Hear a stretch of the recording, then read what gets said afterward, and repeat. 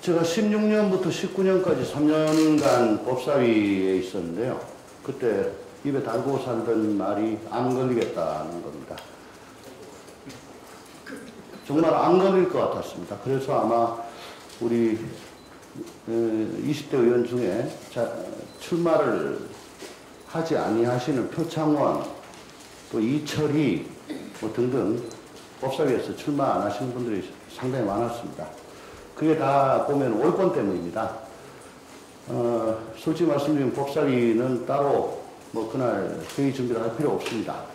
아, 신문에 헤드라인 나온 거 쭉 훑어보고 어, 공격 포인트 잡은 다음에 그거 가지고 하루 종일 싸우고 또 각 장관들 나오면은 그저 당리 당리에 따라가지고 어, 정말 하루 종일 싸우다 보면 그냥 소기의 역할 다 하고 언론에 자기 이름 나고 또 어, 돌발 영상 뭐 이런 데도 나오고 하기 때문에 에, 정말 법사에 있는 동안에 암 걸린 것 같은 그런 기, 느낌으로 내내 살았습니다.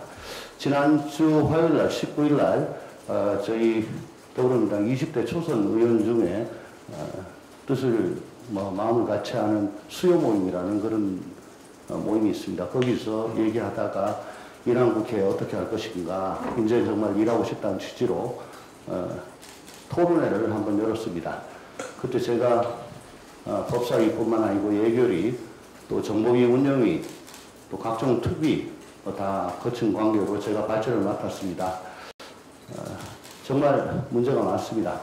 단서 때문에 아무것도 못하는 그런 국회입니다.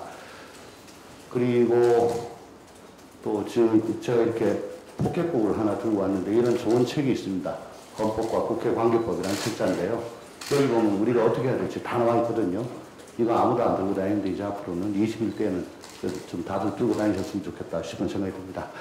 어, 제가 법사위에서 있었던 경험 바탕으로 어, 또 아무래도 또 법률 전문가고 하니까 최대한 열과성을 다해서 일할 수 있는 국회 만들 수 있도록 한준희 단장, 단장님 잘 모시고 열심히 하겠습니다. 왜 국회는 일하는 국회가 되지 않는 걸까요? 도대체 무엇이 방해물로 작용하고 있고 무엇이 장애물로 작용하고 있는지를 저희가 샅샅이 파헤쳐 보도록 하겠습니다. 그래서 국회가 시스템적으로 일을 할 수밖에 없는 구조가 되게 하는 것. 그것이야말로 21대 국회의 전반기, 그것도 6월 국회를 시작하면서 저희가 해야 되는 일이라고 생각합니다. 여야 의원님들이 이것에 대해서는 크게 이견이 없을 것이라고 생각합니다. 모두가 다 지금 일이 하고 싶어, 일이 하고 싶어 이렇게 외치고 있기 때문입니다. 그래서 일하는 국회를 만들기 위한 방법을 찾아서 내어놓도록 하겠습니다. 아, 그것이 여야 간에 잘 협상이 되어서 국회 운영에 위해서 다른 것보다도 가장 먼저 일하는 국회법을 통과시키고 국민들께 저희 이제 드디어 일하기 시작했습니다. 이렇게 외치면서 21대 국회가 시작되기를 진심으로 바람하지 않습니다.